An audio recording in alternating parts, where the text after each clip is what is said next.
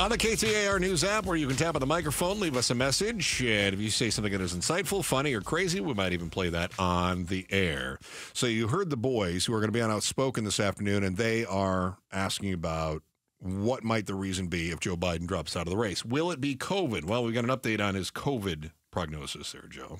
President Biden's physician, Dr. Kevin O'Connor, says in a new memo that cough and hoarse voice continue to be the president's primary symptoms of COVID, but they've improved meaningfully from Thursday. Dr. O'Connor says the president's temperature, pulse, respiratory rate, and blood pressure remain normal. He completed a fourth dose of Paxlovid Friday morning. Dr. O'Connor says the president continues to work.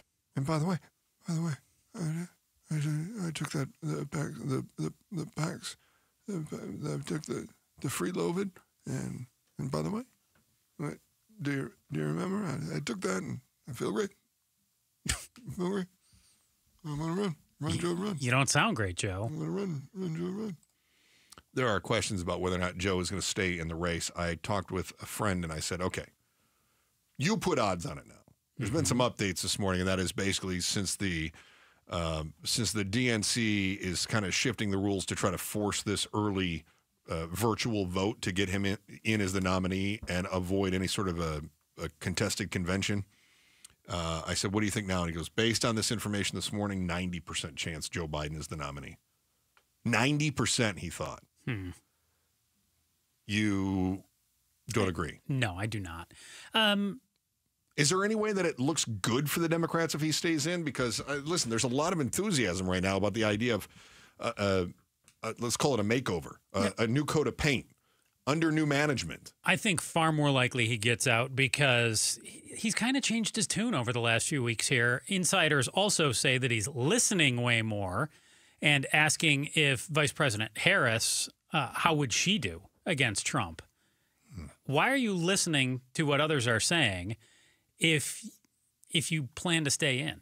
Don't you just say, "Nope, I'm staying in. Nothing to see here."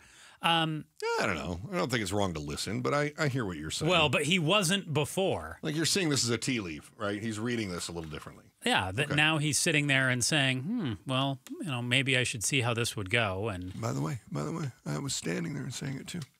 By the way, maybe you remember, I don't. maybe you remember that. I was standing. I'm so glad the voice singing. made a day two appearance Yeah. here. It was By the way, Mm-hmm. Yeah. Go ahead. no, that's that's all I've got to say. Well, my question remains: Is there any is there any reason That, it could this- be good for the yeah, Dems for him to actually stay works in. out for them? Uh, a couple things. Um, yes, finger goes up from Chris Merrill in the front.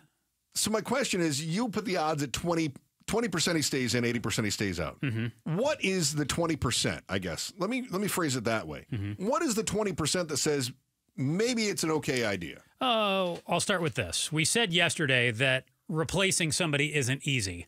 So you've got to go and redo all of this stuff out there TV ads, radio ads, social media ads, not just your own for Biden Harris, but also all of the other candidates out there. And I mean, obviously they don't care about the GOP side, but they do care about those down ballot folks who who they want to see win and, and keep things on the blue side of things. All yes. of those would have to be redone. That's kind of a logistics thing, then, right? Yes. Okay. I, I think you've got that. Um, name recognition. Biden's the biggest name out there for the Democrats. He's been in office the last four years. He served as VP for eight. His name carries a lot of pull. What other Democrat out there has that sort of experience and know how? I think that's a big factor. And name recognition and everything Mm-hmm. else that goes into it. Yeah. Um, if he stays in, we know he's the candidate. If he drops out, all these delegates then get to pick a new person. And I think there has to be some fears that that could fracture the party. It could lead to deeper rifts that can't be healed. So it's presumable to me, and I said yesterday it would have to be Harris. But if it does go to the convention, you could have people saying Mark Kelly, Shapiro, Wes Moore, Gavin Newsom, Gretchen Whitmer. You're going to get all these names thrown out there all of a sudden if Joe goes away, and you could have six camps develop instead of a Biden stays in, Biden goes out camp. Yeah, there really is no clear replacement at this point. There's no Harris, but that's not set in stone. right. Okay. So there could be a lot more division. Right now, two camps. Imagine if Joe goes, then who knows what name we're going to hear out there? You could hear the Michelle Obamas, the Oprahs, all of that could start up. Yeah. So just a lot of division could start up. And, and also, I thought about this be careful what you wish for. Does this open up to other questions for the party? If Biden steps down, does it cause the public and other members of Congress to question the mental acuity of other older members of Congress? Are they doing that anyway? A little. I mean, but Mitch h- how loud do you want it to get? In- Uh, in who would it hurt more? I guess is the question the Democrats would have. Like Nancy Pelosi, old. Mm-hmm. Chuck Schumer, old. Raul Grijalva, older, just Yeah. fought cancer. And won, Joe. Why do I have to keep reminding you of this? He I- won. I understand, but anybody who, hey, Joe is 81. yeah. So does it open up that door more of, hey, your guy, the president, stepped down. You should too. That's a good question.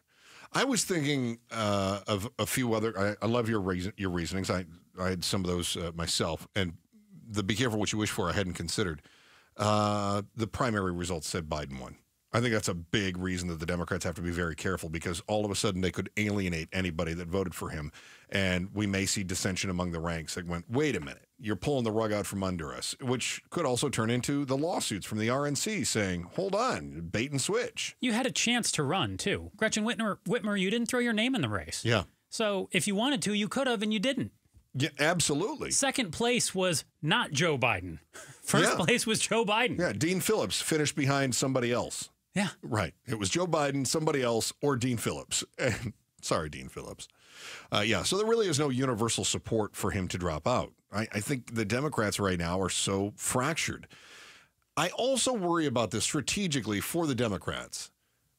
Do they want to burn a candidate who might have hopes in 2028 with some sort of a haphazard three or four month campaign here? Suppose it, I, I, I think Gavin Newsom wants to run in 28. I think he's been positioning himself for that. He wants to wrap up his, his term as governor in California 26, uh, and then which would be January 27, and then immediately start campaigning for president 28. That's what I think is going to happen. I could be wrong. The Dems have positioned him as kind of the anointed one. I I agree. And so if that's the case, are you going to burn his chances because all of a sudden it would look like a weakened candidate? Whitmer, Shapiro, all of a sudden these guys look like just you know plug and play plug and play losers. Uh, Listen, we've seen boxing matches where you know the the main event doesn't show, and instead they put in some unknown from Philadelphia named Rocky. Uh, very rarely do they end up winning, unless you're Rocky. Uh, otherwise, otherwise you're just a sacrificial lamb. What about this too? What if they do run another candidate now, and that candidate somehow wins then, and then you're Gavin Newsom in 2028? Well, everything gets thrown into disarray for him, but I think they take the win. Oh, they take the win, but if you're Newsom, you go like, "Hey, I got hosed. I want to run now." Yeah, they're going to say you're young enough, Gavin. You can you can do it later. Mm-hmm.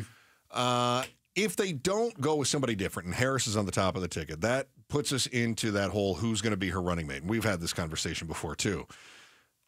I was getting into a debate with uh, with a friend yesterday about who that should be. We kicked off we kicked out some names yesterday. Mark Cuban, Mark Kelly. Uh, you know who else should be on that ticket?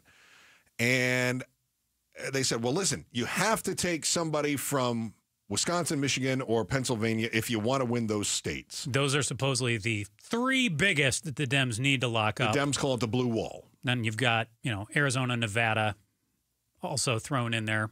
But in the same conversation, this person told me that whoever is the vice presidential candidate won't have that much influence. So I don't think that putting Harris on top of the ticket and then somebody from Pennsylvania or Michigan all of a sudden shores things up.